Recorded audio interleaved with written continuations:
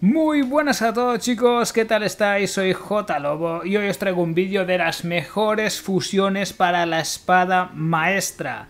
He de decir que la espada maestra no es la mejor arma de todas, hay muchas combinaciones increíbles, mucho mejores que ella, pero también he de decir que tiene su ventaja ya que se regenera, por lo tanto la podemos volver a utilizar.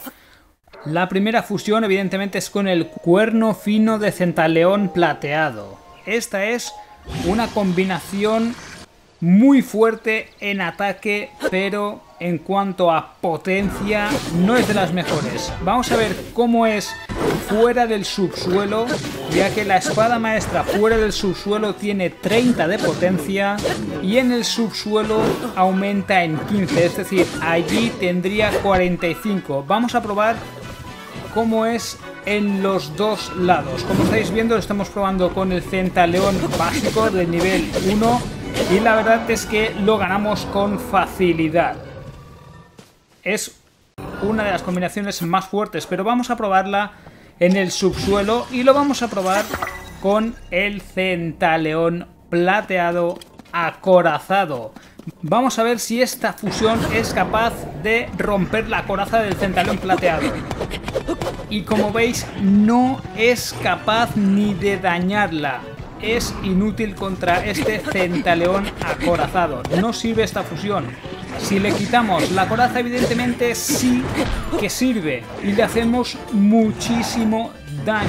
Es una combinación súper fuerte en ataque. Pero vamos a ver si tiene resistencia. Es decir, si es capaz...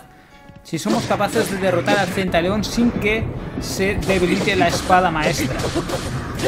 Atención, ¿se va a debilitar la espada maestra? ¿Lo va a conseguir? No. No ha podido con el Centaleón. Si nos equipamos el atuendo del espectro, sí que lo podemos derrotar, porque este atuendo nos mejora el ataque. Por lo tanto, esta fusión es una burrada con este atuendo o el de bárbaro. Si probamos esta fusión con un Hinox, vemos que le mete bastante daño. Incluso casi sin que se pueda levantar. Es una fusión increíble, pero no de las mejores. Vamos a ver ahora una fusión que es una auténtica locura.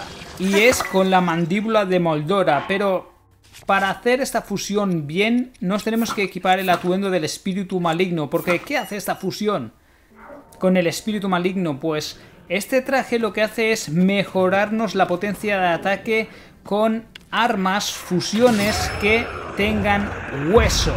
Por lo tanto, con la mandíbula de Moldora esto va a pegar muchísimo. Fijaos cómo le mete al Hinox negro sin que se pueda levantar. Es una locuraza.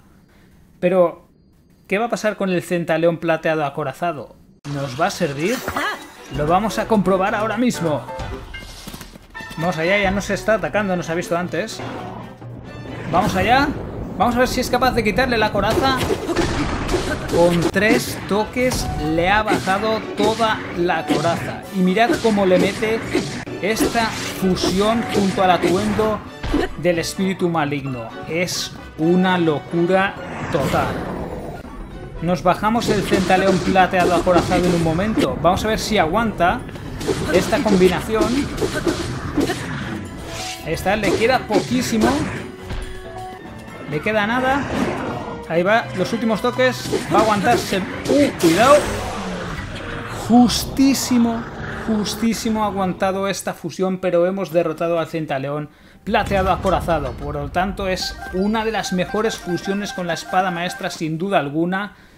Y ahora vamos a lo que yo creo que es la mejor fusión para la espada maestra, que es con el cuerno pesado de centaleón plateado. Esta fusión es una locura, y más si nos equipamos el atuendo de bárbaro. Vais a ver cómo le metemos al Hinox negro, es una auténtica locura. Mirad, Mirad, qué palizón le estamos metiendo. En un momento nos lo hemos cargado. Facilito.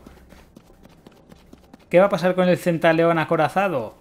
¿Lo vamos a poder vencer fácilmente? Pues lo vamos a provocar. Ahí está. Vamos a ver si se baja la coraza. Madre mía. Tres toquecitos. Tres toquecitos para quitarle la coraza. Vamos a ver qué tanta potencia tiene. Madre mía. Yo, yo creo que es la mejor fusión sin duda alguna, ¿eh? Le mete muchísimo.